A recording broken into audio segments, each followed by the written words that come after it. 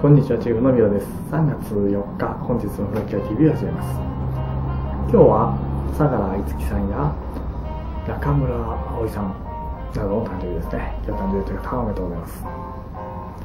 さて、え本日は新着、新着じゃない、新コンテンツ、えー、作成しましたので、そちらをご紹介させていただきます。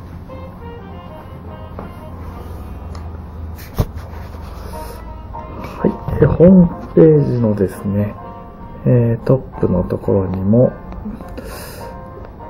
ありますけれども、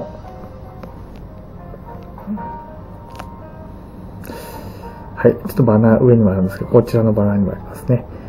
タイプ別お部屋探しガイドというものを作りました。はい。お部屋探しはですね、人それぞれですので、まあ、じっくり探したいよという方、まあ、営業してほしくないとかですね、えー、部屋探しが得意な人、まあ、ちょっと人見知りな人も、これですかね、えー、ぐるぐる回転させていただくと、まあその方に合ったですね、えー、お部屋探しのコツをまとめてあります。で、えー、その内容をですね、見る場合はそ、その場所その場所をタップすれば、その説明なんかも出てきますね。はい。じっくり派、お任せ派、ちょっと忙しい人、とかですね。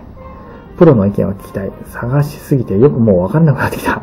という方もですね、えこちらから入ればわかりやすいんじゃないでしょうか。あとはしくじり派ですね。これは見といた方がいいです。まあいろんなところ問い合わせてですね、ないって言われてるのに数日後見てもまた載ってるとかですね、結構悪どい営業者もいるんで、ちょっと注意してほしい点なんかもですね、ちょっとまとめてあるんで、こちらはぜひ一度見ていただければと思います。スマホでも、え、簡単に見れるんで、え、チェックしていただければと思います。